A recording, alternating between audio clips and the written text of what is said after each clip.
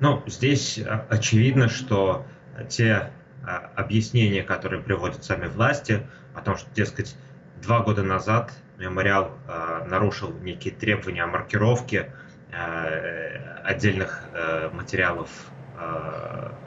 упоминанием о том, что они иностранные агенты. Э, это ну, не просто не выдерживает никакой критики, даже никто особенно не пытается сделать вид, что проблема в этом. Даже Владимир Путин недавно на встрече с Советом по правам человека э, говорил не о нарушениях каких-то требований маркировки, а о том, что мемориал э, каких-то не тех людей признает э, политзаключенными. И точно так же прокуратура сегодня,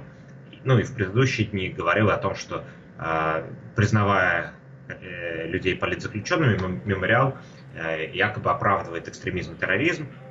и э,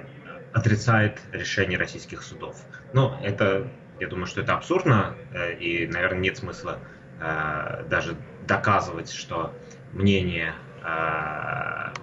правозащитников о том, что кто-то законно или незаконно привлекается, вполне имеет право на существование, не является оправданием терроризма или экстремизма. Реальная причина преследования мемориала – это, конечно, его правозащитная деятельность, это, конечно, э, его исследования и кампании, посвященные нарушению прав человека э, в России, э, и деятельность на Северном Кавказе, и деятельность в других регионах России, и тот самый список политзаключенных, который они публикуют. Мемориал сегодня это крупнейшая правозащитная организация в России, и, очевидно, российское государство приняло решение положить конец правозащитной деятельности, и вот таким образом начало борьбу с самой крупной, самой активной, самой заметной правозащитной организацией в стране.